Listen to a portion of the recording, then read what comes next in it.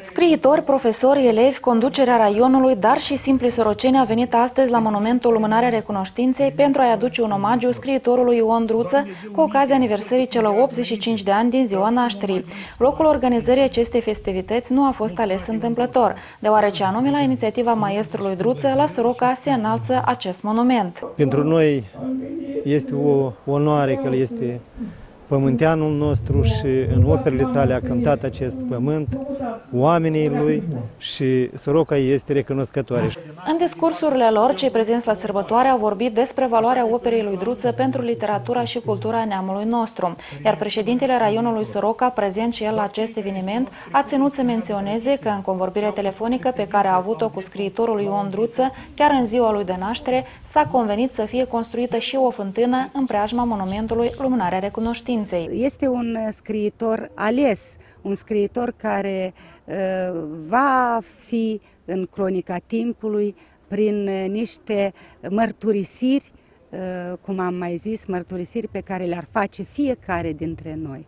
La mulți ani, maestre! Sunt un sorocean fericit dacă am în față cetatea, iar în spatele bătrânul Nistru, și în cazul acesta îmi pot aminti și chiar revăd, trec prin inimă personajele marelui Ion Druță, trec prin cuget titlurile, văd piesele sale, văd istoria pe care a scris-o și pe care o creează nu numai pentru noi, o creează pentru întreaga cultură omenească.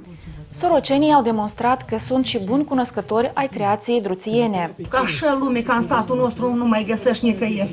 Și nu n-aș și tare scârchită, dar lumea asta, ca așa păcleșită, ea ca poți să iei casă după casă, dacă nu mă credeți. Da două uchetre de râșniță, o lași la îngropat la pragul casă și zici că îmi plouă, ștergi cioarele de dânsul. Dar pe minte are el, ha, ia spuneți și nevoastră. Limpiada s-a așezat pe marginea cuptorului, slăbăzând picioarele pe vatră, încrestită cu floricele vinite și cărămizii.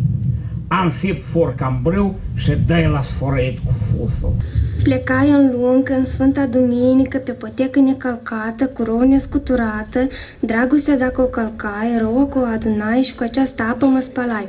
Și tânăra generație nu a ezitat să-i mulțumească marelui scriitor pentru opera sa. Noi astăzi am venit să îl susținem pe Ion Druță pentru creațiile care ne le-a oferit pentru noi, pentru celor care doresc să afle ceva nou și mulțumim mult pentru tot ceea ce a creat pentru oamenii din Republica Moldova. Astăzi am venit la aniversarea lui Ion Druță, împlinește 25 de ani.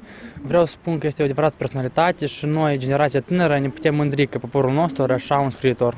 Ion Druță s-a născut la 3 septembrie 1928 în satul Horodește, județul Soroca, în prezent raionul Dondușeni. Operele sale, adunate în patru volume, Frunze de dor, Ultima lună de toamnă, Povara bunătății noastre, Clopotnița, Horodiște, Întoarcerea țărânii în pământ, Biserica albă, Toiagul păstoriei și altele fac parte din fondul de aur al literaturii naționale contemporane.